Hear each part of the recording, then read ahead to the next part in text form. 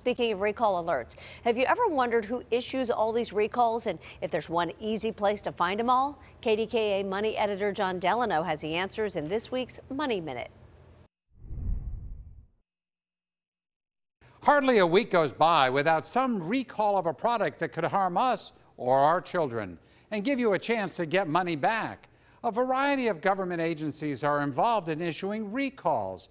Consumer products are generally recalled by the Consumer Product Safety Commission, everything from appliances to children's products to exercise equipment. Motor vehicle recalls of all sorts and all parts usually come from the National Highway Traffic Safety Administration.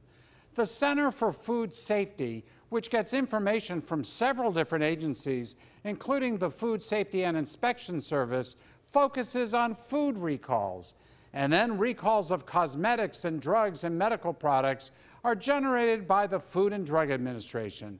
The good news the government now has one site with all these recalls for you to check out recalls.gov. I'm Jon Delano, and it's your money.